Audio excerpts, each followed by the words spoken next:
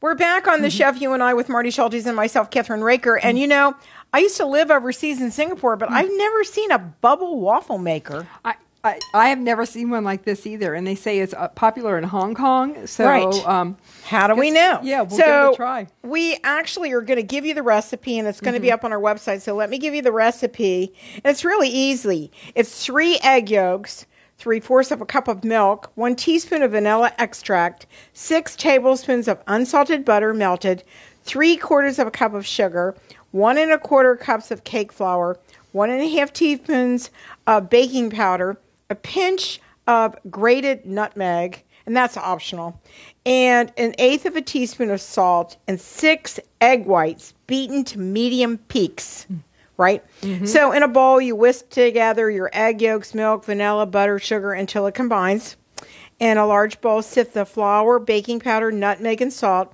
Whisk the egg yolk mix into the flour mixture until it's well combined and no lumps remain. Add one third of the egg whites to the batter and stir until lightened. Gently fold in the remaining egg whites in two additions. And we've already preheat the iron and we're going to pour the batter evenly, right? and this is not like your regular waffle maker. This looks like it's going to take take some battery into it because Yes, definitely. It's um it's almost got a honeycomb type of shape to it. So Yeah, and see, there's a lot of these holes, Marty. yeah, we want to get that all So we in. want to get that in there. Hold on. So it's not like anything you've ever done before, Mm-hmm. right? So they want you to do it evenly through all the holes. All right, hold on. This is going to be fun. I'm wondering what the kids are going to, your kids are going to think, or your, Oh, something something different and neat. You know. yeah. Okay, I'm Getting getting there. there. Yeah. We're almost there. You don't want to rush it, right? I want to kind of move it around, There we go. And right? Or not. I don't know. Well, this is the first one. Well, we'll see how it all We'll goes. see how it all Yeah. goes in a minute. All right. So it looks like we almost got it all filled up. We and do. then we're going to close it up. Okay, we're going to close it up. You know, with- and with, any other waffle maker, we're going to wait till the steam quits coming out for it to let us know that it's done. okay. And you have to hold it together and push it Yep. like that. There we go. And usually with waffle makers, as you know, they come out the side. So I'm going to get a couple of paper towels. and it said, Marty, actually three to five minutes for it to bake. Mm-hmm. And what we've done, oh wow, maybe I put too much in there, Marty. well, we'll find out. we'll find out in just a minute, right? And it said evenly.